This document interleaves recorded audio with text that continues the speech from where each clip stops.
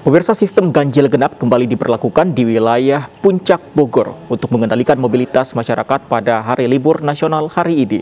Kemacetan pun terjadi sepanjang 1,5 km di titik pemeriksaan Simpang Gadok.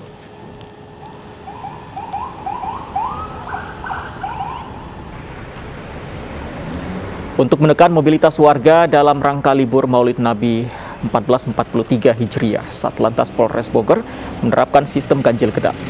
Terdapat 8 titik pos pemeriksaan yang diperlakukan di kota Bogor, yaitu 6 titik di puncak dan 2 titik di kawasan Sentul. Tugas melakukan pembagian kanalisasi dua lajur kendaraan untuk memudahkan pemeriksaan plat kendaraan. Imbas dari pemberlakuan ganjil genap, kemacetan sepanjang 1,5 km terjadi di Simpang Gadok.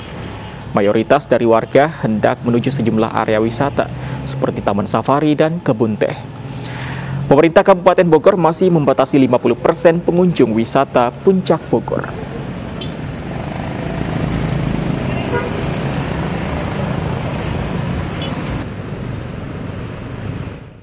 Dan pemirsa sepertinya kemacetan di puncak di akhir pekan hari ini. Uh, maksud kami di hari libur nasional hari ini terpantau memang cukup padat.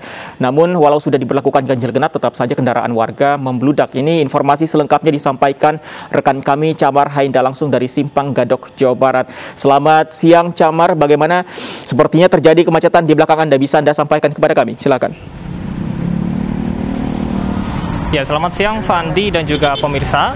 Satlantas Polres Bogor kembali menyelenggarakan dan juga menerapkan sistem regulasi ganjil genap untuk mengendalikan mobilitas masyarakat di hari libur nasional pada Maulid Nabi 1443 Hijriah dan salah satu dari delapan titik tepatnya di titik uh, pemeriksaan Simpang Gadok. Tempat saya melaporkan saat ini dapat dilihat di belakang saya memang untuk uh, intensitas kendaraan cukup padat di mana 1,5 km dari titik saya melaporkan saat ini. Dan berdasarkan uh, pemantauan kami dari pagi hari hingga dengan saat ini mayoritas ini berasal dari wilayah DKI Jakarta yang akan menuju ke sejumlah titik ataupun sejumlah uh, uh, rekreasi yang ada di wilayah uh, Puncak Bogor. Salah satunya memang tadi kami sempat uh, mendengar pihak dari kepolisian menyebutkan bahwasanya terjadi kemacetan di wilayah uh, Puncak Bogor yang akan menuju ke wilayah wisata Cimori Dairyland di mana ini menjadi salah satu wisata yang memang jadi primadona masyarakat saat ini.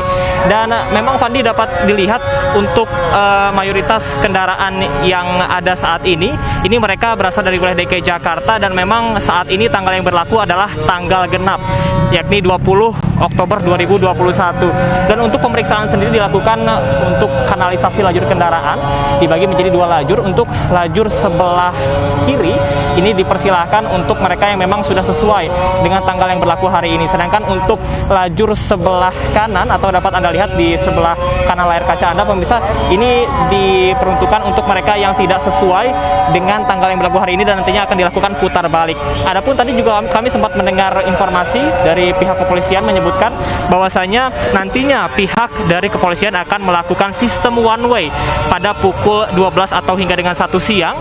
Tepatnya e, sebentar lagi begitu dikarenakan nantinya apabila dilihat adanya penumpukan kendaraan di wilayah Puncak Bogor, maka nantinya pihak kepolisian akan e, menutup akses dari Jakarta menuju ke wilayah Puncak Bogor. Dan tidak hanya itu Fandi, pihak dari Satlantas Polres Bogor juga menyediakan e, sarana berupa gerai vaksin yang diperuntukkan untuk e, wisatawan dikarenakan e, vaksinasi menjadi salah satu uh, syarat agar masyarakat dapat berwisata di masa pandemi. Tadi kami juga sempat melihat pada pagi hari hingga dengan siang ini memang untuk gerai vaksin ini juga terdapat beberapa masyarakat yang melakukan vaksinasi dikarenakan hingga dengan saat ini pihak dari pemerintah Kabupaten Bogor mewajibkan vaksinasi menjadi salah satu persyaratan untuk masuk ke daerah wisata. Dan untuk gerai vaksin ini pemirsa dan apabila Anda ingin berkunjung ke kawasan wisata Bogor dan belum dilakukan vaksinasi dapat berkunjung ke gerai vaksin ini hingga dengan pukul 1 siang. Demikian Fandi kembali ke Anda ke studio. Harus diingat hanya kendaraan bernomor plat genap yang boleh melintas di kawasan puncak hari ini. Terima kasih untuk laporan Anda dan informasi Anda. Selamat siang.